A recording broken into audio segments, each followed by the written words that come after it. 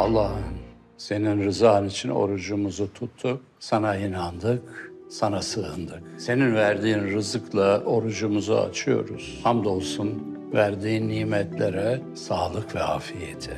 Rabbim sen tuttuğumuz oruçları kabul eyle. Orucun da bizi tutmasını, iyi güzel şeyler hatırlatmasını, farkındalığımızın artmasını nasip eyle. Mülk ve yönetim yalnız sadece sana aittir. Bize emanet olarak verdiğin nimetleri ihtiyaç sahipleriyle paylaşmamız için yol göster, destek ol bize. Ailemizi, sevdiklerimizi, tüm inananları koru. Milletimize birlik ve beraberlik ver. Amin.